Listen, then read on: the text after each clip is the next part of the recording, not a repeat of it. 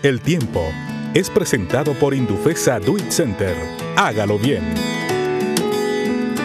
Buenas noches Carlos y buenas noches tengan todos. Para el día mañana se esperan condiciones inestables con algún, algún crecimiento de nubosidad que nos trae a tener condiciones con precipitaciones, chubascos leves aislados en varios sectores de las regiones junto con actividad eléctrica, que esto es producto de una humedad que entra por parte del océano Atlántico trayendo un poco más intensidad en algunas zonas y en otras un poco más débiles y aisladas las lluvias. Karina continúa en su actividad, es una tormenta tropical por parte del océano Pacífico y también tenemos a Lowell que ahora es un huracán y está un poco más intenso, también su ruta es mar adentro y no va a tocar tierra firme, así que nosotros no nos preocupamos por eso en este momento.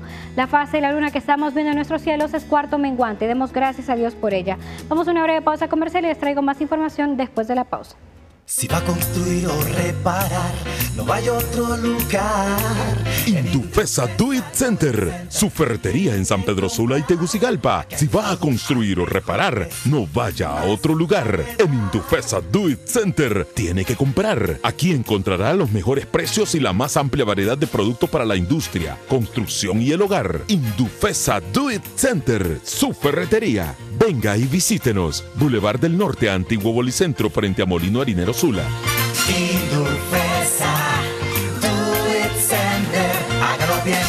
En la ciudad capital el día de mañana esperamos condiciones inestables, podríamos tener precipitaciones durante todo el día, pero en momentos. También presencia de los rayos del sol, sobre todo en las horas del mediodía, oscilando entre 16 y 30 grados las temperaturas y con la humedad presente en el ambiente de 63%. En la ciudad de Comayagua esperamos también cielos que estén nublados, con alguna leve posibilidad de tener lluvias, pero estas siendo aisladas, con presencia de los rayos del sol, una máxima de 33 grados, llegando una temperatura más fría de los 19 y la humedad presente en el ambiente de 56%.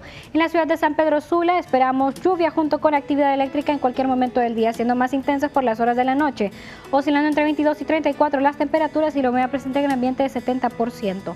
En la ciudad de La Ceiba y sus alrededores también esperamos lluvia, siendo más intensas por las horas de la noche, junto con actividad eléctrica, oscilando entre 24 y 31 las temperaturas y la humedad presente en el ambiente de 77%. En la ciudad de Choluteca esperamos cielos prácticamente despejados a muy poco nublados, oscilando entre 23 y 38 las temperaturas con la humedad presente en el ambiente de 48%.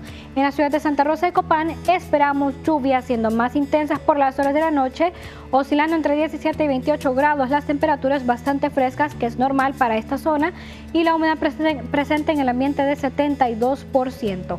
El oleaje, el nivel del mar, esperamos en la costa del Caribe sea de 3 a 5 puede llegar hasta los 7 pies mar adentro y en el Golfo de Fonseca de 3 a 5 pies, siendo eso relativamente normal para este, eh, para este océano.